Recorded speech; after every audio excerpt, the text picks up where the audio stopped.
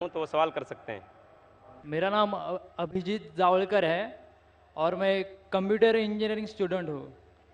Sir मुझे आपसे ये पूछना है कि अगर कोई मुस्लिम कुरान के ऊपर हाथ रखकर कोई कसम खा ले तो क्या वो कसम वापस ले सकता है?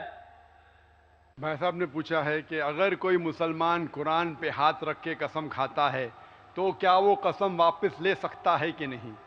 आम तौर पे कोई भी मुसलमान कसम खाता है, चाहे कुरान पे हाथ रखे या नहीं रखे, उसे वापस नहीं लेना चाहिए। अगर उसे पता चला वो कसम गलत चीज़ है, किसी को नुकसान पहुँचा रही है तो वापस ले सकता है।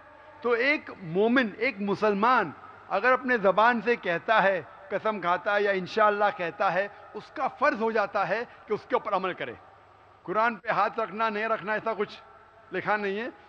अगर उसे पता चलता है कि मैंने कुछ गलत चीज़ कह दिया हूँ और किसी का नुकसान होगा। या शरीयत के खिलाफ है, कुरान के खिलाफ है, अल्लाह के रसूल के पैगाम के खिलाफ है, फिर उस कसम को तोड़ सकता है।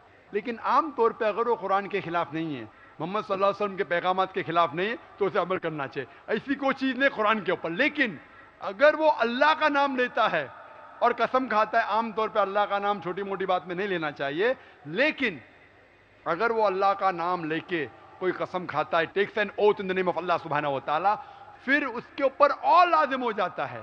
और अगर वो उस कसम को पूरी ना कर सके, उसे कफारा देना पड़ता है, उसे जुर्माना देना पड़ता है।